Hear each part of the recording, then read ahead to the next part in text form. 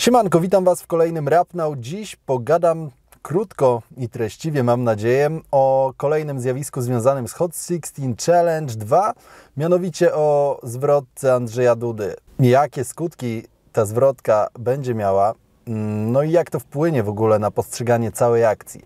Jeśli ciekawi Was ten temat, to zapraszam. Myślę, że to będzie kilkuminutowe przemyślenie, co najwyżej.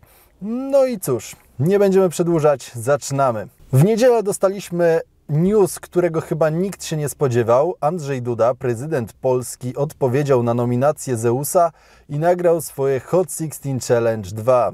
Ja kiedy dowiedziałem się o tym, że taka zwrotka powstała, myślałem, że będzie rapowo przynajmniej średnia. Myślałem, że Andrzej Duda ma jakichś doradców albo zapyta się kogoś, kto mu taką zwrotkę być może rozpisze, może przygotuje, może to będzie jakoś związane z kampanią albo poprawi mu to wizerunek. Jakie było moje rozczarowanie, kiedy sprawdziłem to, co się tam dzieje i ten ostry cień mgły.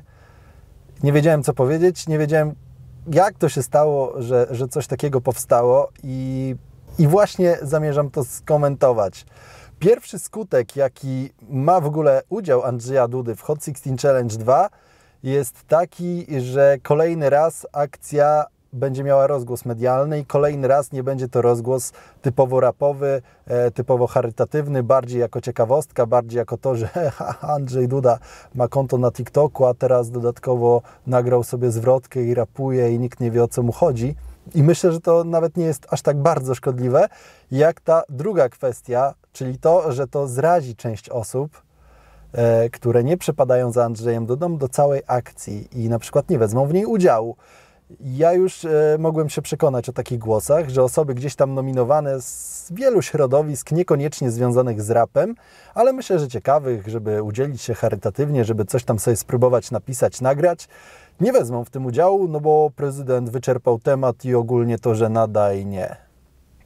Także pod tym względem myślę, że wiele osób po prostu zostanie gdzieś tam z rezerwą i będzie po prostu przyglądać się całej akcji, albo po prostu potraktuje ją jako już nasyconą czymś politycznym, a oni się tym brzydzą i nie, nie, nie, nie nagrają. Odpuszczą pole i zostawią to Andrzejowi Dudzie, tak jak większość opozycji odpuściła patriotyzm, jak odpuściła jakieś tam socjalne żądania i tak dalej, i to wszystko zawłaszczył sobie PiS, ale myślę, że polityka to jest na inny e, odcinek, na inny materiał i na inny kanał temat. Jeśli chcecie o polityce, to jest mój osobisty kanał, gdzie czasem coś mówię. Tomasz Lewnał, link znajdziecie w opisie. A tutaj wracając do tematu, myślę, że to, to że ta zwrotka też jest tak żenująco słaba, wpłynie negatywnie na odbiór całej akcji, na to, że wiele osób nie będą chciały, że wiele osób nie będzie chciało w tym uczestniczyć. Jak na to patrzą raperzy? Jeszcze nie zdążyłem sprawdzić wszystkich komentarzy. Widziałem, że Zeus nagrał oświadczenie. Nie wiem, co w nim mówił. Nie miałem czasu tego sprawdzić. Jestem bardzo ciekawy. Jeśli wiecie, to napiszcie w komentarzu i podyskutujemy sobie na pewno. No w każdym razie jest to niewykorzystana szansa też, jeśli chodzi o Andrzeja Dudę. Ktoś mógł mu napisać tak świetny tekst, który spodobałby się nawet ludziom, którzy za nim nie przepadają.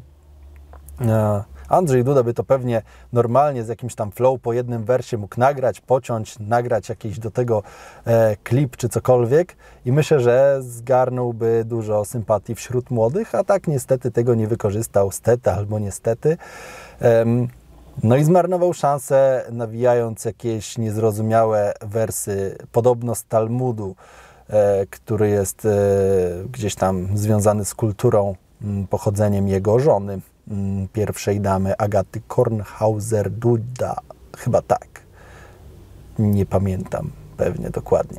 W każdym razie myślę, że zmarnowana szansa, no i ten Talmud też się może pewnym prawicowym środowiskom nie podobać. Tak jak wielu raperom nie podoba się to, że w ogóle Andrzej Duda wziął w tym udział i jest wiele memów, które powstają właśnie wyrażających zażenowanie tym wszystkim. Finalnie myślę, że Andrzej Duda więcej na tym stracił niż zyskał, tak jak cała akcja Hot 16 Challenge.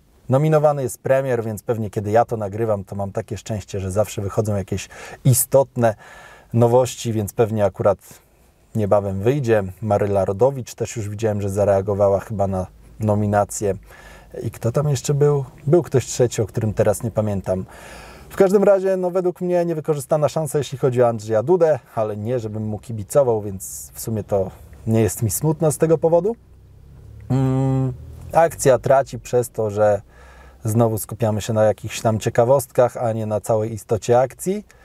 No i jest jeszcze ten trzeci aspekt, czyli to, że prezydent wpłaca hajs, który zarabia z naszych podatków na służbę zdrowia i nominuje premiera, gdzie tak naprawdę to jest ich psi obowiązek, żeby dbać o tą służbę zdrowia normalnie i żeby takie akcje nie miały prawa się pojawiać, żeby w szpitalach wszystko było, żeby wszystkiego było w nadmiarze, żeby to wszystko było na czas i było przygotowane na takie momenty jak teraz. A mamy co mamy.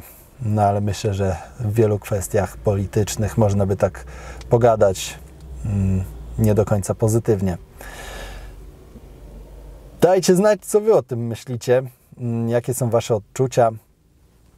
Ciekawi mnie to jak zawsze. Ja też e, staram się odpisywać na te Wasze komentarze. No i zachęcam oczywiście do sprawdzenia ostatnich materiałów na kanale. Staram się teraz bardzo, bardzo dużo do Was mówić, bardzo dużo nagrywać i mam nadzieję, że to doceniacie choć troszkę. Miłego dnia, miłego wieczoru. Nie wiem kiedy to puszczę, pewnie jutro rano dopiero. Mm. No i cóż, dzięki za uwagę. Do usłyszenia, do zobaczenia. Cześć.